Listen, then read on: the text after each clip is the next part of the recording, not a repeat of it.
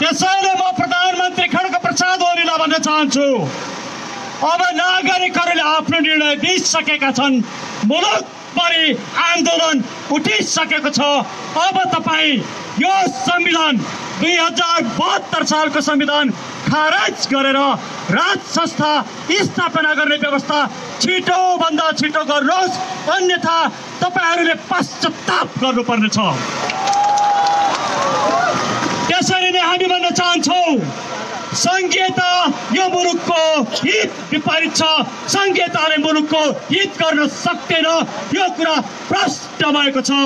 त्यसैले हाम्रो दोस्रो राजनैतिक एजेन्डा हो सङ्घीयताको खारेजी। तेस्रो हाम्रो राजनैतिक एजेन्डा हो धर्मनिरपेक्षताको खारेजी। हामी हाम्रो सभ्यता बचाउन चाहन्छौँ। हामी नेपाली बन्न चाहन्छौँ हामी नेपाली हुन चाहन्छौँ। हाम्रो धर्म संस्कृति परम्परा र सभ्यता मास्ने धर्मनिरपेक्षता हामी खारेज गर्न चाहन्छौँ।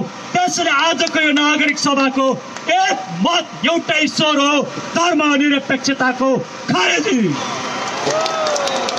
त्यसैले तिनवटा राजनैतिक प्रश्नको निर्णय नभएसम्म यो नागरिक आन्दोलन रोकिनेवाला छैन। यो नागरिक आन्दोलनले यी राजनैतिक प्रश्नको निर्णय गरेर छाड्नेछ। दोस्रो यो मुलुकलाई भ्रष्टाचारले सिद्ध्यायो हामी भ्रष्टाचार सहँदैनौँ अब भ्रष्टाचारीलाई हामी रोज्न सक्दैनौँ। त्यसैले सत्तामा बसेका प्रत्येक भ्रष्टाचारीको सम्पत्तिको छानबिन गरेर दोषीलाई कारवाही गर्नका लागि नागरिक आयोग चाहियो चाहियो। जबसम्म नागरिक आयोग गठन हुँदैन र यी दोषीहरूलाई कानुनको दायरामा लिएर त्यो दोषी प्रचण्ड हुन् कि ओली हुन् कि देउबा हुन् कि जोसुकै होस् त्यो सत्ताको दुरुपयोग गरेर भ्रष्टाचार गरेर कमाएको सम्पत्ति राज्यले कानुनी कारवाही गरेर राज्यको कोषमा ल्याउनेछ गरिबी निवारणमा लगाउनेछ युवाहरूको रोजगारीमा लगाउनेछ शिक्षा र स्वास्थ्यमा लगाउनेछ त्यसैले म भन्छु खड्ग प्रसाद ओलीजी अब तपाईँ बैठक गरेर प्रचण्डलाई माधव नेपाललाई सत्ता हस्तान्तरण गर्ने कोसिस नगर्नुहोस् अब यो सत्ता नागरिकलाई हस्तान्तरण गर्नुहोस् त्यही भएर हामीले भन्यौँ अब हामीलाई नागरिक सरकार चाहिन्छ ठुला दलहरूले भ्रष्टाचार मुलुकमा लुटतन्त्र मचाएर व्यथिति र कुशासन गरेको कुरा अब हामी नेपाली नागरिक सहन सक्दैनौँ सक्दैनौँ त्यसैले यो व्यवस्थाको समूल अन्त्य नै यो आन्दोलनको उद्देश्य हो। त्यसैले म तपाईँहरूलाई निवेदन गर्न चाहन्छु हामी सबैको एक मत छ। यो व्यवस्थाको अन्त्य नागरिक आन्दोलनको उद्देश्य हो। म भन्न चाहन्छु आजको आन्दोलनलाई हेरेर अमेरिकन एम्बेसीले एउटा रेड अलर्ट जारी गर्यो। र त्यो अलर्टमा भन्यो? हिजो बेलुका अलर्ट जारी गरेर भन्यो। कोही पनि माइती घर मण्डलमा नजानुहोस्। माइती घर मण्डलमा जान निषेध गर्यो।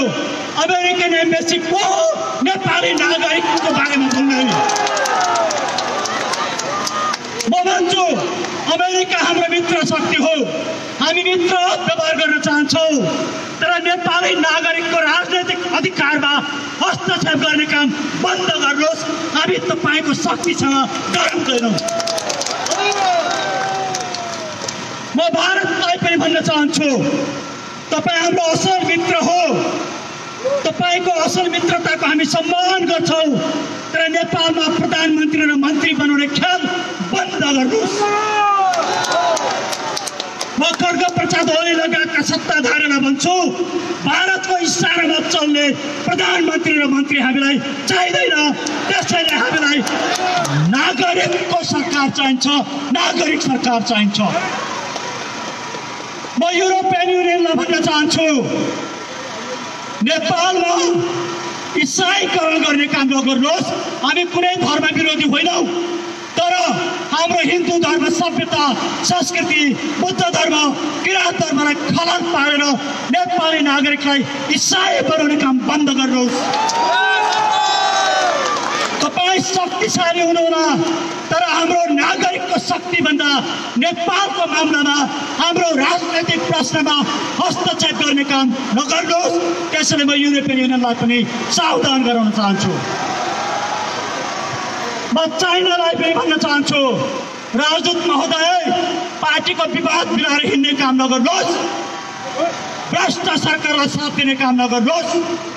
तपाईँहरू विदेशीहरूको अमेरिकाको होस् युरोपियन युनियनको होस् भारतको होस् चाइनाको होस् सबैभन्दा नजिकको मित्र भनेको राजा नै हुन्। त्यसैले राजालाई फाल्ने कसरत तपाईँले जुन गर्नुभयो त्यसको पश्चाताप गर्नुहोस् र नेपाली नागरिकसँग माफी माग्नुहोस्। हामी नेपाली नागरिकहरूले निर्णय गरिसक्यौँ। अब यो मुलुकमा राजाको विकल्प छैन।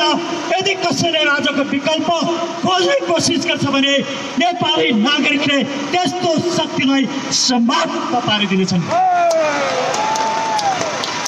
र म भन्न चाहन्छु यो नागरिकको आन्दोलन भनेको लोकतन्त्र हाम्रो भाषामा नागरिक तन्त्र डेमोक्रेसीको रक्षाको लागि हो। अहिलेको चुनाव प्रणाली नागरिक तन्त्र डेमोक्रेसी विरोधी छ।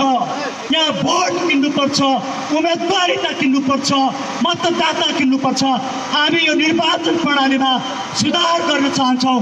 त्यसैले अबको सरकार दुई वर्षको लागि नागरिकले छानेको निर्वाचित नभएको नागरिक सरकार हुनेछ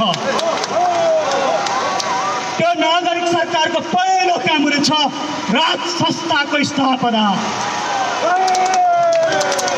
म महाराज धिराजलाई पनि भन्न चाहन्छु। महाराज धिराजको वक्तव्य भर्खरै आएको छ। महाराज धिराजको वक्तव्यलाई लिएर केही केही भ्रम सृजना गर्न खोजेको छ म महाराज धिराजलाई भन्छु महाराज धिराज अब तपाईँ नागरिकको कित्तामा आउनुपर्छ नागरिकको निर्णयलाई शिरोधार्य गर्नुपर्छ महाराज विराज तपाईँको कर्तव्य यो मुलुक बचाउने हो मुलुक बचाउने कर्तव्यमा नागरिक सँगसँगै अब महाराज विराज हिँड्नुपर्छ महाराज विराज तपाईँले अब धर्म रक्षा गर्नै पर्छ। धर्म रक्षा गर्ने अग्रिम पन्थीमा तपाईँ उभिनुपर्छ। त्यसैले म महाराज विराजलाई भन्छु नेपालको महाराज विराजको शाहवंशीय परम्परालाई हेर्दा नागरिकको निर्णयलाई कहिल्यै पनि अपमान गरिएको छैन। त्यसैले म सम्पूर्ण नेपाली नागरिकको तर्फबाट भन्न चाहन्छु अब नेपालको आस्थाको केन्द्र तपाईँ महाराज विराज हो तपाईँलाई हामी गद्दीमा राख्छौँ। तपाईँले अब यो मुलुकको रक्षा गर्नुपर्छ। म धेरै बोल्न चाहन्न। धेरै वक्ता साथीहरू हुनुहुन्छ। तपाईँको यो अदम्य साहस तपाईँको यो ऐक्यबद्धता र नेपाली नागरिक हुनुको जुन कर्तव्य तपाईँले देखाउनु भएको छ त्यसको लागि जति नमन गरे पनि पुग्दैन। मेरो तर्फबाट लाख लाख नमन।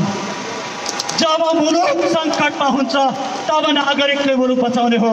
त्यसैले राजा सडकमा आएनन् भनेर चिन्ता नगर्नुहोस्। तपाईँ हामी सडकमा छौँ। तपाईँ हामी सडकमा छौँ। राजाले होइन कि हामीले राजा ल्याउने हो। राजा अब नागरिकको कित्तामा छन्। नागरिकको त्यसैले राजाको बारेमा भ्रमको खेती गर्नेहरूलाई म भन्न चाहन्छु। अब भ्रमको खेती बन्द गर्नुहोस्।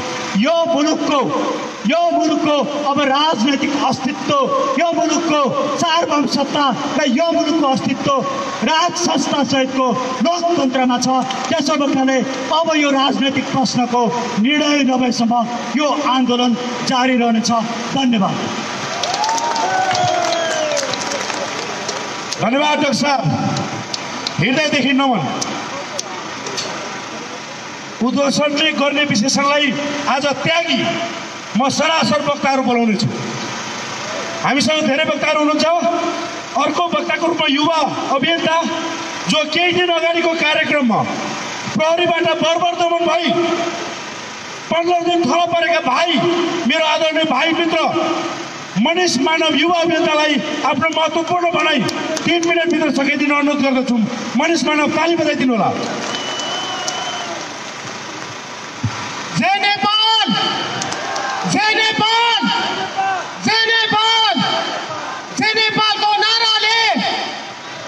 हामी सबै यता बानेश्वरमा उपस्थित भएका छौँ। आदरणीय दाजुभाइ तथा दिदीबहिनीहरू मलाई आज एकदमै खुसी लागिरहेको छ।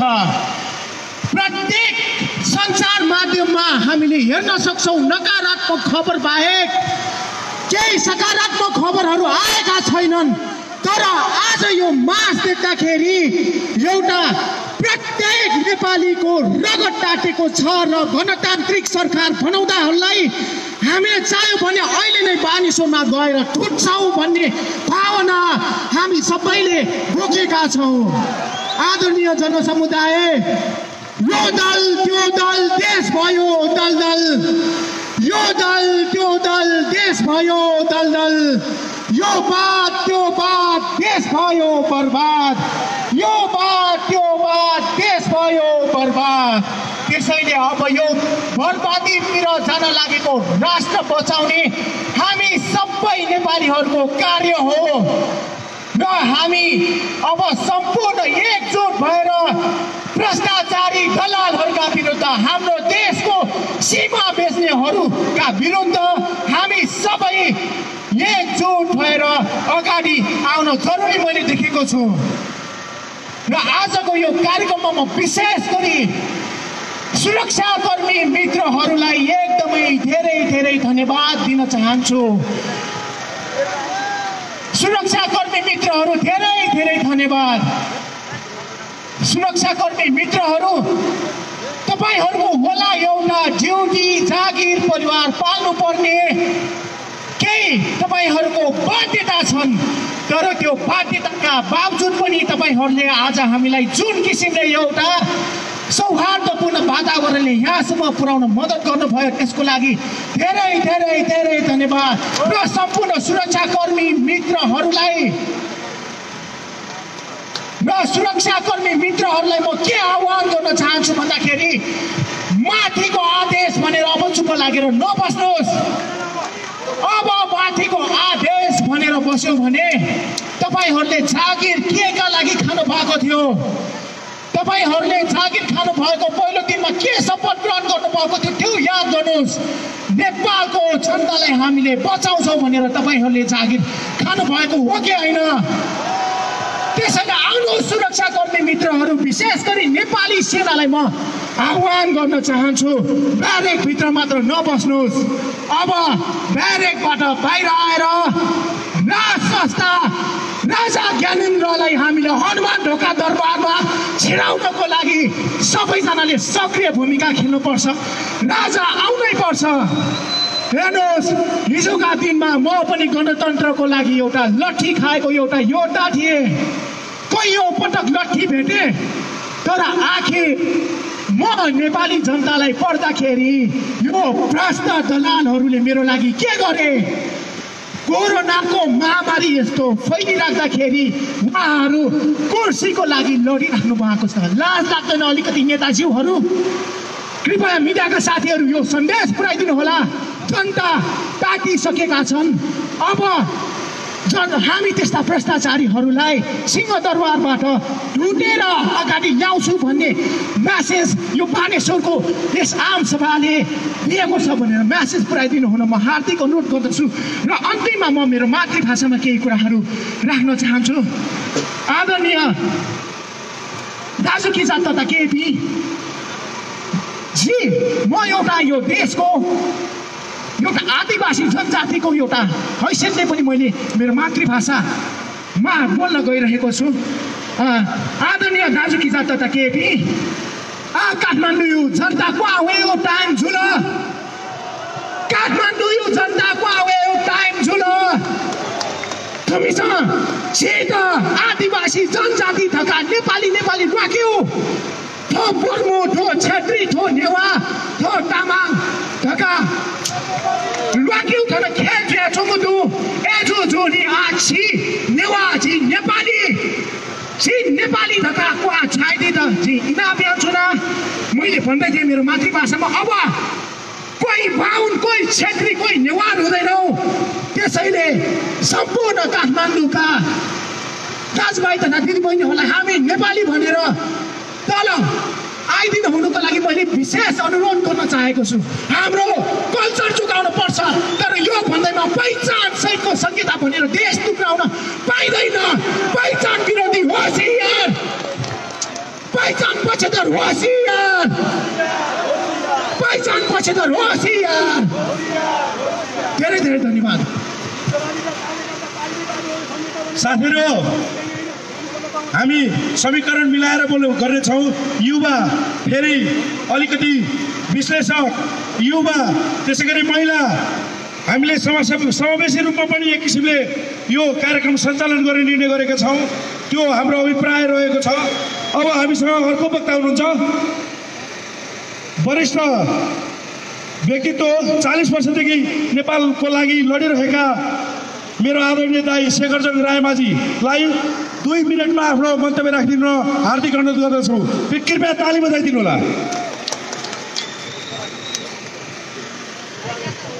राष्ट्रिय एकता राष्ट्रिय एकता नेपाल आमाको। साथीहरू यतिखेर मुलुक सबभन्दा सङ्कटमा पुगेको छ।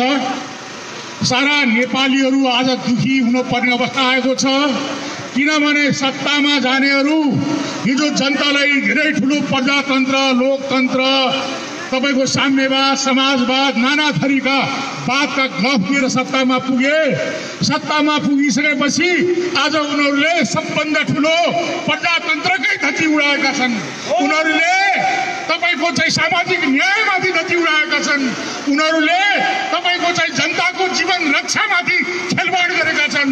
आज कोरोनाको महामारीले साराको चाहिँ तपाईँको चाहिँ एउटा भय र त्रासको अवस्थामा न सत्ताले न तपाईँको चाहिँ जीवन रक्षा गर्न सकेको छ न तपाईँको चाहिँ व्यवस्था कोरोना महामारीको चाहिँ तपाईँको नियन्त्रण न व्यवस्थापन।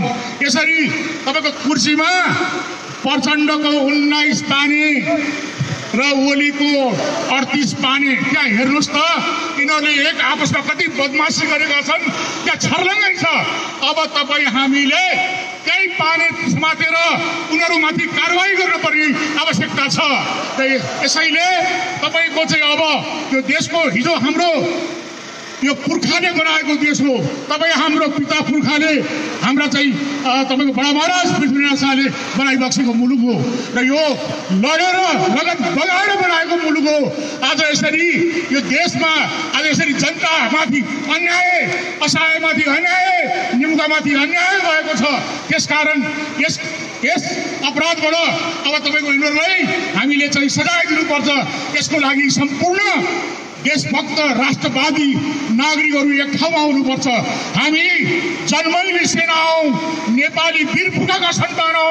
त्यसैले हामीले उनीहरूलाई अब तपाईँको चाहिँ हामीले चाहिँ नागरिक सरकारको माग गरेका छौँ र नागरिक सरकारले स्वतन्त्र नागरिक आयोग बनाएर यिनीहरूका हरेक अपराध र बेइमानलाई तपाईँको चाहिँ हामीले चाहिँ जाँचबुझ गरेर यिनीहरूलाई हामीले कानुनको कठियारामा ल्याएर यो देशलाई हामीले बचाउनु छ।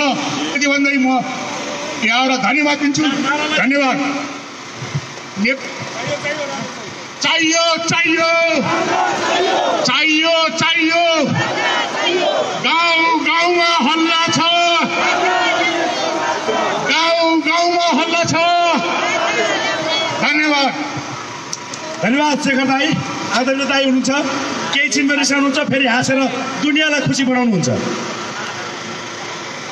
साथीहरू हामीसँग धेरै वक्ताहरू हुन्छ अब यस्तो वक्ता जसको आवाजले विश्वमा एउटा स्त्रीलाई स्थापित गराउनेछ गराएको छ।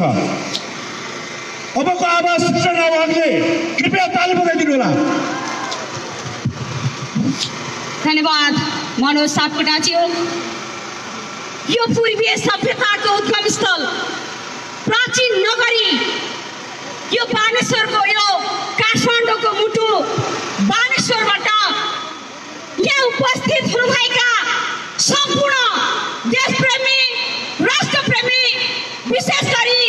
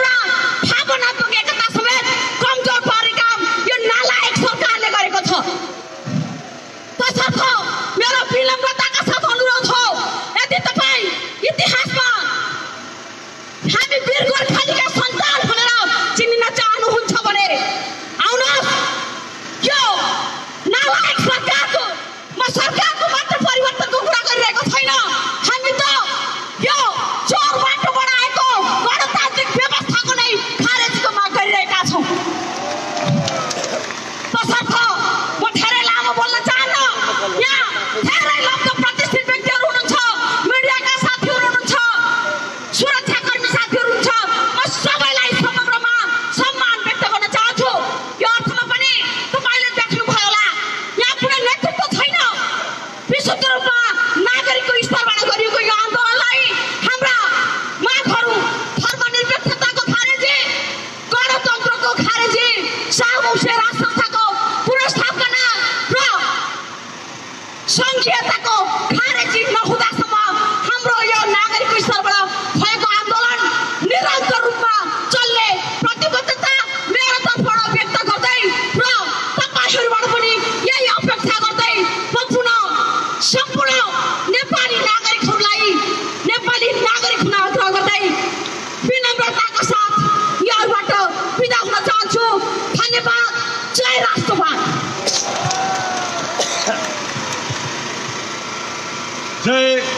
राष्ट्रवाद सृजनाजीलाई धन्यवाद आदरणीय राष्ट्रवादी योद्धाहरू यो धर्म युद्ध हो यो महाभारतको युद्ध हो त्यसैले यो युद्ध तपाईँले जित्दै पर्छ यो युद्ध हामीले जित्दै पर्छ हाम्रो घोषणा सभा हो हामीले भन्दैछौँ यो युद्ध हामीले जित्दै पर्छ गणतन्त्र खारेज हुनै पर्छ सङ्घीयता खारेज हुनै पर्छ हिन्दू राष्ट्र कायम हुनै पर्छ। म तपाईँहरूको यो उपस्थितिमा प्रत्येकलाई एउटा महाभारतको अर्जुन जस्तो योद्धा देखिराखेको छु। यो युद्ध त्यसैले हामीले जित्दै पर्छ जित्दै पर्छ। राजा सहितको प्रजातन्त्र हाम्रो मूल माग हो। राजा बिना प्रजातन्त्र बाँच्न सक्दैन। म तपाईँहरूलाई राष्ट्रवादी अभिवादन नमन गर्दै अब तराईको उपस्थिति हिमाल पहाड तराई कोही छैन पराई। हामी सबै राष्ट्रवादी हौ। तराईका एउटा यस्ता योद्धा। म जसको नाम लिन जाँदैछु तपाईँहरूले अन्दाज गरिसक्नु भएको छ। तराईमा पनि लाखौँ जनता राजतन्त्र लिनको लागि राजतन्त्र ल्याउनको लागि हिन्दू राष्ट्र कायम गर्नको लागि आन्दोलित भइसक्नु भएको छ। उहाँहरूकै प्रसिद्ध डाक्टर मनोज झालाई मैले तपाईँहरूमा प्रस्तुत गर्दैछु। धन्यवाद। गणतन्त्र धोका हो गणतन्त्र धोका हो सम्पूर्ण देशभक्त नेपाली नागरिकमा म डाक्टर मनोज कुमार झा